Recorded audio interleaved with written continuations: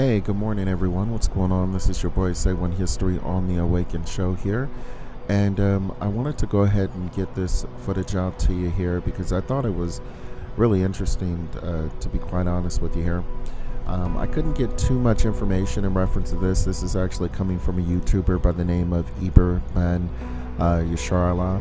And I don't even know where this is at. So if you guys are actually looking at this particular footage and you've actually seen it before and know where it's at, definitely leave a comment here. Um, but again, I thought it was really interesting just based on the imaging of it here. Uh, can't decipher um, any tampering with the actual footage itself. It does look like it's authentic here. Um, the lights themselves, as you actually zoom in, or you can see uh, the filmer zoom in, uh, looks like there's a set of four altogether, and then you actually have the lights on each one of them, about three lights, at least from what we can see. Um, I'm gauging on the side that these are four objects here, but you never know, it actually could be a mass object.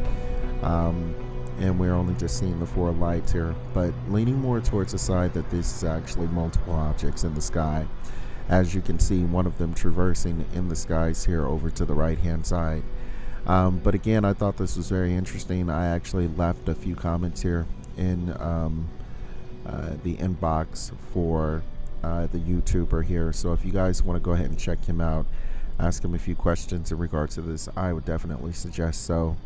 Um, I don't know, you guys. Uh, like I said, I try to get footage out there uh, that no one has seen and uh, just basically get your responses to it and let me know what you think here.